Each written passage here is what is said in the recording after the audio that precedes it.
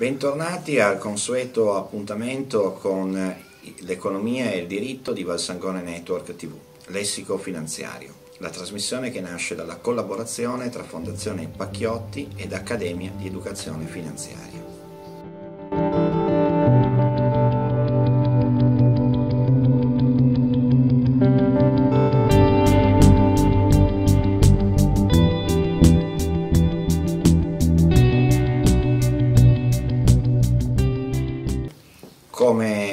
Ogni settimana sono con noi il presidente dell'Accademia di Educazione Finanziaria, il professor Beppe Ghisolfi.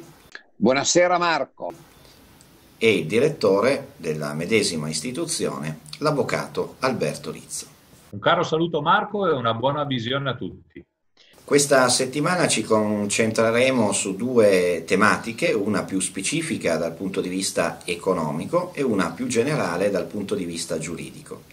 Partirei con il professor Ghisolfi. Beppe, cosa ci dice a proposito dei, della moratoria dei mutui e dei prestiti garantiti, che sono due delle principali misure di sostegno e di rilancio che vedono protagonista il sistema bancario? A che punto siamo?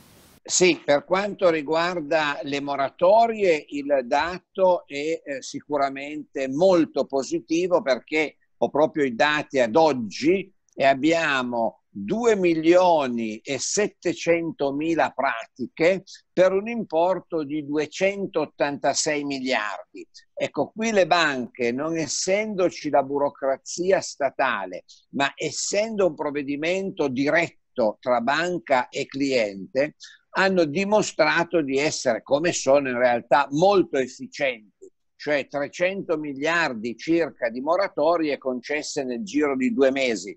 Eh, 300 miliardi in genere di moratorie si concedono in 15 anni. In questo caso sono state fatte in due mesi vista la richiesta dei clienti. Quindi la banca quando non ha gli ostacoli della burocrazia, quando non ha normative eh, difficili da comprendere e da applicare. E la banca è un soggetto molto efficiente che lavora anche in tutto questo periodo di pandemia.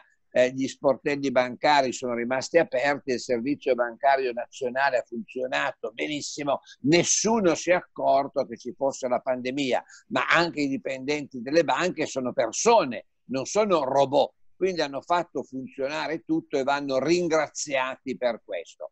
Eh, meno entusiasmante il dato che riguarda i prestiti perché qui ci sono problemi di burocrazia, di applicazione delle norme, di istruttorie che bisogna fare per forza. Comunque siamo una richiesta sempre ad oggi al fondo di garanzia di 48 miliardi cioè non deliberati, ma le domande assommano un importo di 48 miliardi, credo che le delibere siano circa il 90% di questa somma. Siamo ancora lontani dai 400 miliardi di garanzie che aveva diciamo auspicato il governo, anche se il governo aveva fatto una confusione enorme tra garanzie e liquidità, facendo capire che la liquidità. Comunque, le procedure stanno andando avanti mm, più lentamente forse di quanto uno poteva aspettarsi, ma anche perché molte imprese che ne avrebbero diritto non fanno domanda, cioè fanno domanda alle imprese, quelle più in difficoltà perché hanno bisogno urgentemente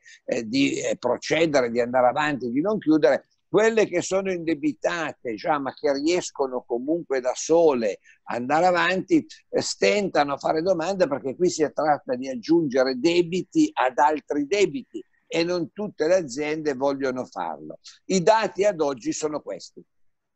All'avvocato Rizzo, sapendo che è un tema che a lui particolarmente caro, che lo è anche all'Accademia, il buon senso nell'azione di governo. Allora, caro Alberto, come stiamo messi a buon senso con questo esecutivo?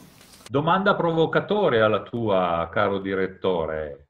Eh, mi trovi alquanto contrariato da una serie di provvedimenti che ultimamente cozzano non soltanto con alcuni principi economici fondamentali, non soltanto con una serie di norme costituzionali, ma proprio anche contro il buonsenso. Guarda, a beneficio dei nostri ascoltatori farò pochi esempi per chiarire il tema. Eh, dice l'INPS, parlando di lavoro, che sono state erogate ai residenti del nostro paese 16 milioni di prestazioni assistenziali. 16 milioni di prestazioni assistenziali costituiscono un numero enorme, seppur spalmato sulla nostra popolazione. Ma quando cesserà l'erogazione di questi sussidi e quindi questa, se mi consenti, droga di Stato terminerà, che cosa potrà capitare al nostro mercato del lavoro? E poi, per legge sappiamo che sono stati bloccati i cosiddetti licenziamenti da parte delle aziende e, cosa ancora più stupefacente, gli sfratti. Lo dico a beneficio dei tanti proprietari di immobile che nel nostro paese oggi si trovano di fatto espropriati del loro bene fondamentale, la proprietà della casa. Perché? Perché magari hanno, l'hanno affittata a soggetti che anche incolpevolmente non hanno più potuto pagare l'affitto e si trovano nella condizione di non poter far nulla perché la legge dello Stato ha impedito loro di procedere. Ecco, caro Marco, queste considerazioni giuridiche si devono sommare a una considerazione di carattere economico perché il sistema economico sostanzialmente, funziona sostanzialmente come il corpo umano quando viene compre- compresso e forse anche compromesso in alcune funzioni fondamentali, scoppia. Se le aziende per legge non possono licenziare, ma se quelle stesse aziende non mantengono i loro livelli di fatturato perché le vendite, come ci danno tutti i dati ufficiali, sono in crollo verticale, come faranno a pagare gli stipendi una volta che questo periodo artefatto di sospensione verrà meno. E ancora, il blocco dello, degli sfratti in realtà è una misura altamente controproducente, perché se io ho la proprietà di un immobile e so che se metto dentro qualcuno non potrò sfrattarlo nel momento in, lui, in cui lui non inizia a pagare più l'affitto, io il bene lo tengo vuoto o comunque se voglio affittarlo aumento enormemente il canone e richiedo garanzie aggiuntive.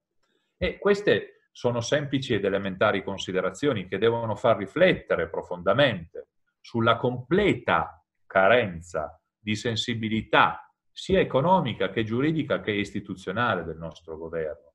Mi sembra davvero di trovarmi, o, di, o meglio di vedermi a bordo di un aereo in una condizione di stallo dove tutti abbiano detto non disturbate il pilota, non disturbate il pilota, però adesso l'aereo è entrato in una pericolosa situazione dove se non viene cambiata la rotta e forse anche il pilota, gli esiti non potranno essere positivi né tantomeno favorevoli, anche perché a forza di rinvii sulle misure urgenti da applicare in termini concreti all'economia, questo governo, lo dicono i numeri, poco o nulla ha fatto.